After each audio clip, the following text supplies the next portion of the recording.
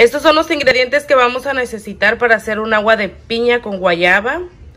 Aquí en esta jarra le caben dos litros y medio de agua, nada más que yo le quité un poquito más de, de medio litro, que ya lo tengo acá en mi licuadora, porque es con lo que voy a moler, es con el agua con la que voy a moler la piña y la guayaba. ¿Ok? Ahorita les muestro el siguiente paso. Tengo siete guayabas de un tamaño no muy chiquito ni muy grande.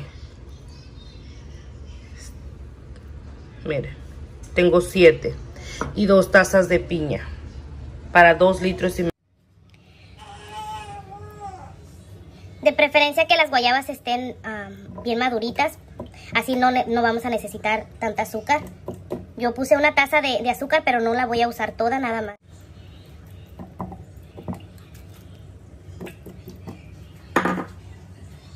Y las dos tazas de piña. También mi piña ya estaba bien madura la vamos a llevar a licuar. En lo que se licúa el, la piña con la guayaba, tengo una taza de, azúcar, y agarré un cuarto, le voy a poner, le voy a poner dos cuartos, la mitad de la, de la taza de azúcar.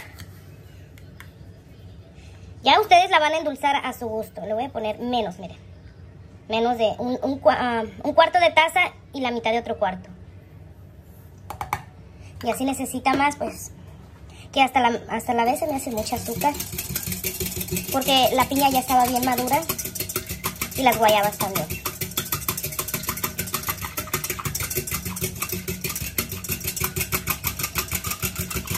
Bueno, la vamos a disolver bien y luego te les muestro el siguiente paso.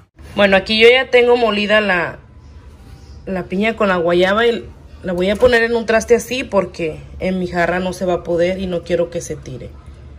Entonces la voy a colar aquí si ustedes no la quieren colar, no la pueden colar. A mí porque no me, no me gusta este sentir la, la pulpa de la fruta.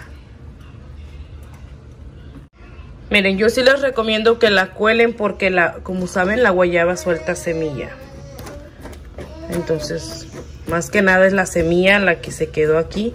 La pulpa de la piña y de la guayaba sí se traspasó porque mi colador no es, no es muy tupido pero ustedes, como ustedes gusten. Bueno, aquí ya le vamos a agregar la mezcla.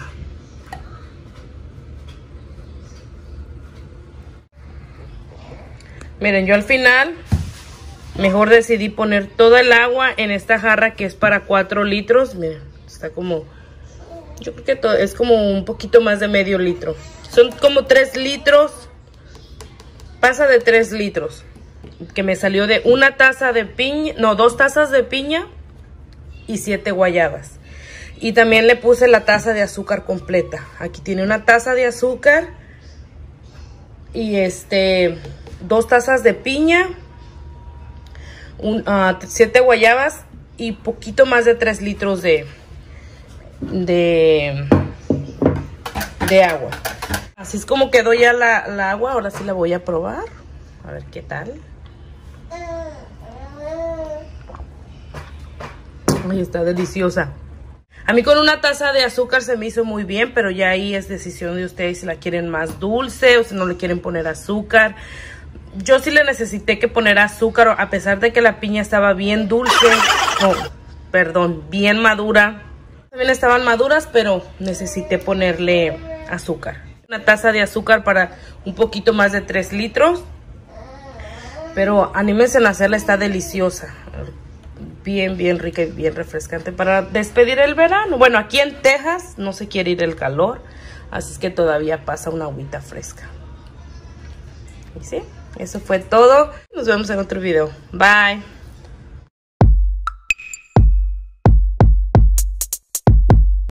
Bueno, aquí ahora les traigo otra receta. Les voy a preparar un cóctel de camarón a mi estilo. Yo aquí tengo dos bolsitas de una libra del camarón chiquito, small. Dos aguacates. Eso es opcional, lo, que ustedes le quieran poner. Las voy a acompañar con esas galletitas. Y solo este paquetito me dejó marquitos.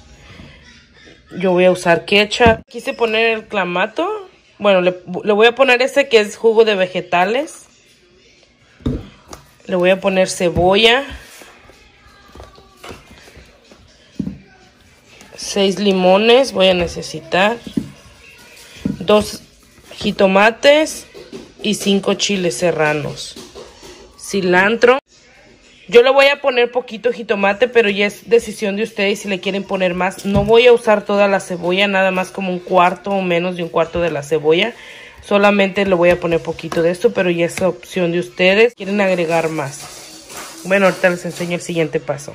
Siguiente paso, voy a exprimirle los limones aquí a los camarones y también le voy a poner poquita sal. Mira, la mitad de una cucharada. Bueno, otro poquito más. Y esto. Y ahora sí le voy a exprimir estos limones acá. Si le hace falta, le voy a poner más. Ahorita voy a ver. Yo les digo si, les, si le pongo más. Acuérdense que son dos libras de camarones. Bueno, aquí ya tengo todo picado. El aguacate va a ser hasta el final. Pero aquí ya pasaron... Han pasado como unos 8 minutos desde que le puse el limón. Entonces ya lo voy a, ya lo voy a poner aquí, que es donde lo voy a preparar. Sin el jugo de limón, nada más los puros camarones, ¿ok? Ahorita les muestro. Vamos a poner los puros camarones sin el jugo. Si ven, ya cambiaron como su textura.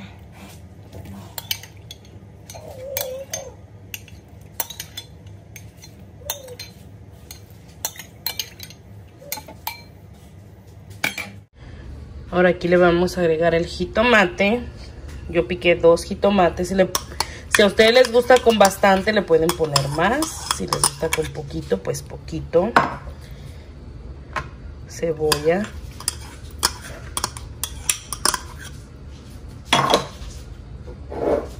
Yo piqué cinco chiles serranos.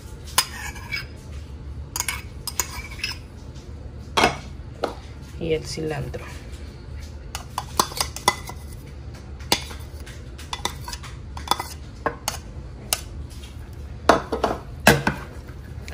Ahora aquí revolvemos. Yo le voy a poner ketchup. Aquí nada más es al, al tanteo. Si no les gusta con ketchup, lo pueden omitir.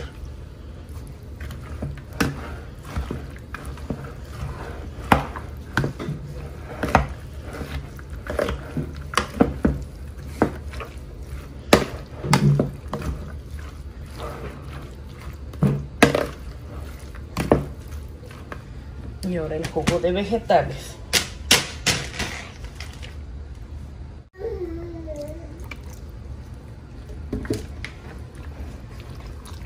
Aquí ya es opción de ustedes, ¿eh? Como les guste, ah, con mucho caldito, no mucho. Y es a su gusto.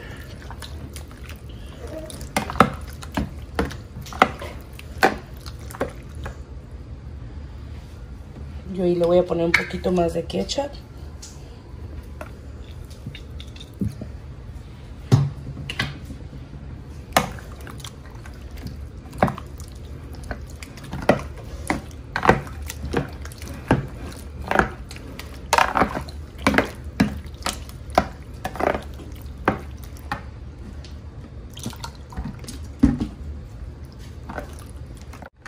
Bueno, así es como quedó.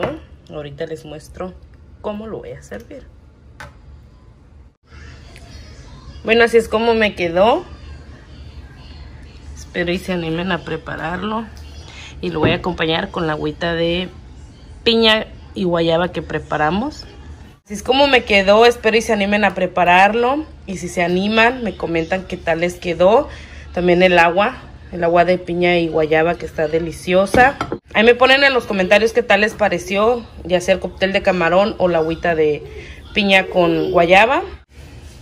Los invito a que se suscriban a mi canal, a que le den like si les gustó, me ayuden a compartir los videos. Y sí, eso es todo, nos vemos en otro video. Bye.